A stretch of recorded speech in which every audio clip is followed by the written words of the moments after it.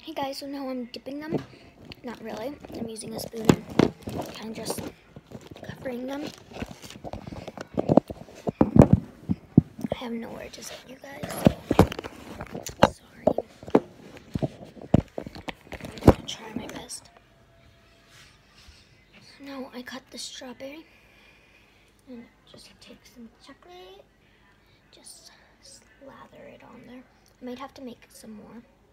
I know the chocolate is not right, but I don't know what happened. I, I just don't know if you're supposed to use kisses or or something went wrong with it because maybe I cooked it too long. Whatever, it's still gonna probably taste really good. As long as it tastes good, I'm fine. I might have to make some more chocolate, but I won't do that on camera because nobody needs to really see it. Because I've already gone through it once. Right? Yeah, this is definitely not how most chocolate things go. Oh god. this is a mess.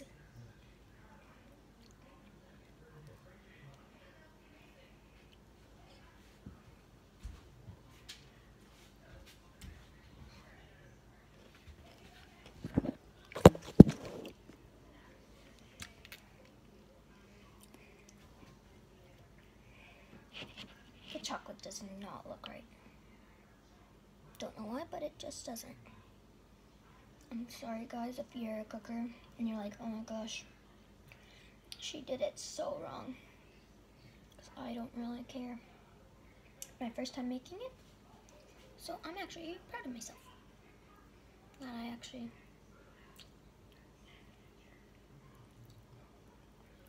I'm not like being on the phone all day watching YouTube. Not doing anything. I'm actually doing stuff, so no hate. Please, no hate. I'm not ready for that yet. I'll bawl my eyes out. Do you want a little girl to cry? No, so don't hate. I'm not gonna cry. But just in case.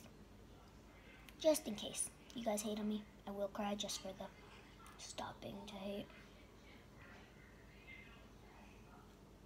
My grandma's like, that chocolate does not look right. And I'm like, I don't care.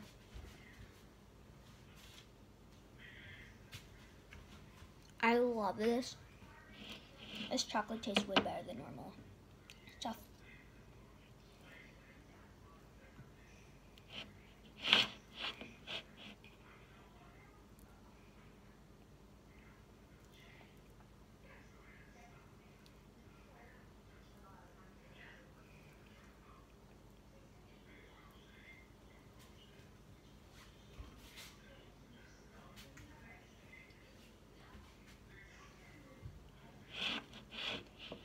So it's pretty boring. So I'm just gonna stop the video. I'm gonna show the final results in the next video. Bye.